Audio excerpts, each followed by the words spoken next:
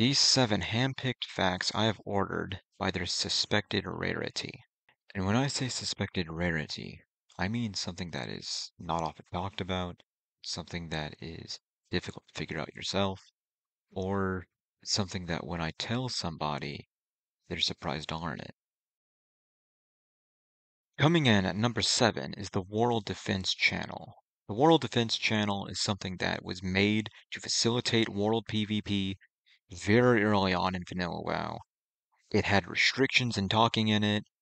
Back in 2019 Classic, when we began Phase 2, World Defense would always be spamming you.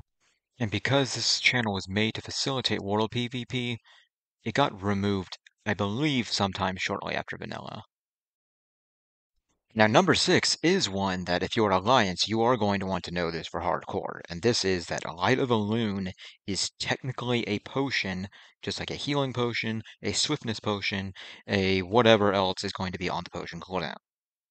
Being a one-use item you get from a quest, I don't think it's something that many people can easily figure out. And I've seen at least a couple hardcore clips where somebody figured this out too late.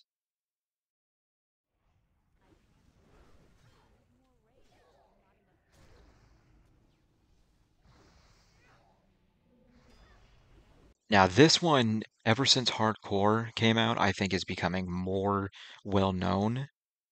The cockroach is the only critter in the game that has social aggro with other mobs. Now, this is a very strange thing for multiple reasons, not just because it's a critter.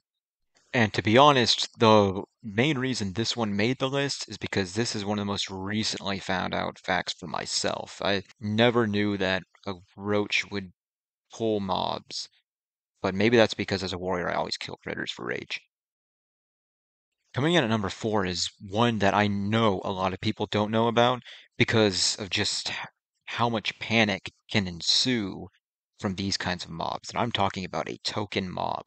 What is a token mob? It's a mob that is summoned, but it's not a normal summon. It's a type of summon that can be killed by anything, including a demoralizing shout.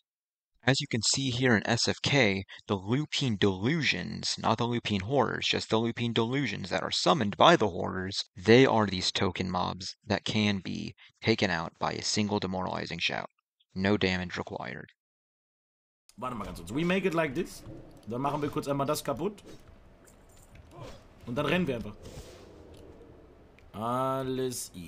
Ich, ich hab, ich hab den, der Vanish war bad. Der Vanish war ganz bad. Ich glaube, ich bin hier dead. Chat, ich glaube, ich bin hier dead. Coming in at number three is another tough lesson I've seen people have to learn, and this is that pets, including target dummies, will keep you in combat. Now, this is due to their nature of being in a party with you. As long as that pet or target dummy is still alive, you are going to be in combat. And a lot of times, like you've seen in this clip, mobs will just know where you are even once you have vanished. So it's very important that if you're going to do such a sneak maneuver, you kind of wait for the target dummy to die, but that's much easier said than done. Now, this next one at number two is one that the only way you can even know about it is if you go onto a database. And this is that Every mob in the game is part of a faction, even if you can't see that faction. This is important because what this means is that social aggro follows these factions, meaning that a lot of times if you see two mobs in the wilderness that are two different kinds of animals, they probably will not aggro even if they're right on top of each other. You can pull one and you're not going to pull the other. But this is also why, for instance, if there are two spiders, no matter what they're doing, you know, if they're two independent wandering mobs and those spiders somehow get close enough to social aggro, they will social aggro. And this is all because of this hidden faction system. Coming in at number one is a hidden mechanic that has to do with the defense skill. Now, there's a lot of hidden things about the defense skill such as the fact that the higher your defense is, the less chance you'll be critically hit by a mob. At the same time, a mob's chance to miss you will increase, and then the visible part of defense is the fact that it raises block dodge parry. But the one thing about defense that is very rarely known is that it will decrease the chance that you are dazed. This is something that I have long known about, and it's also something that you really get a feel for as you're leveling through the game. If you're, say, a level 30 running through your starting zone, you pretty much never get dazed by a mob.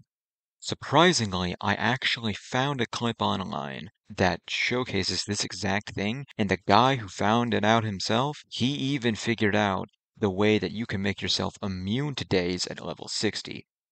That was the one thing that I never figured out myself, so if you want to learn it, you can learn it from his video. I put it down below in the description. Right, and then I'm gonna hit that. Sorry, I just grabbing threaded on it everything. Oh my god! Whoops.